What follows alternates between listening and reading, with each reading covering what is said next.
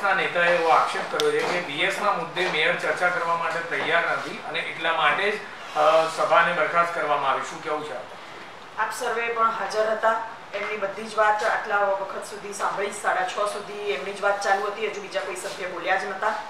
એમની વાત સાંભળ્યા પછી મેં અંદર એમણે જે પ્રશ્ન પૂછ્યા, એમાં ઇન્ટરફિયર થઈ હતી. કે આ બધી ચર્ચા આ પહેલાના બોર્ડમાં પણ થયેલી છે. આના માટેની એક પત્રકાર પરિષદ બી થયેલી છે ને એમાં બધી જ ડિટેલ માહિતી આપેલી છે. દિનેશભાઈને પર્સનલમાં પણ વાત જ્યારે એમણે મને પૂછ્યું હતું ત્યારે વાત કરેલી છે. આ બધી જ ચર્ચા થઈ ગયા પછી ફરીથી ને ફરીથી આ મુદ્દો ના હોવો જોઈએ, કારણ કે આ બધી વાત જો ડિટેલમાં ચર્ચા થઈ ગઈ હોય અને આપ સર્વે જાણો છો એ પ્રમાણે આની પહેલાંની મારા સામાન્ય સભા એટલે આચારસંહિતાની પહેલાં પણ આ વખતની ચર્ચા થઈ ગયેલી છે.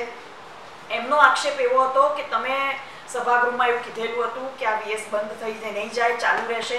જે આજે પણ હું કહું છું કે આ વીએસ હોસ્પિટલ જે ગરીબોની જીવાદોરી છે અને જેના માટે આ હોસ્પિટલની કામગીરી ચાલે છે, એ ક્યારેય બંધ થવાની નથી.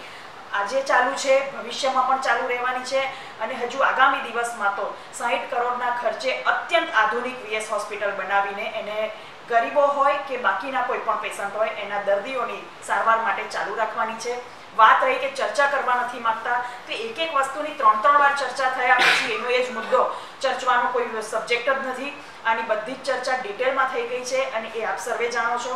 નગરજનોના બીજા કોઈ પ્રશ્ન માટેની ચર્ચા કરવા માટે એમની પાસે કોઈ મુદ્દો જ નથી અને બીજા કોઈ મુદ્દા પર ચર્ચા ના કરી શકતા હોવાથી ખુદ એમના જ બીજા સભ્ય દિનેશ શર્મા સિવાયના બાકીના બધા સભ્યોએ એમ કીધું અમે વોકઆઉટ કરીએ છીએ.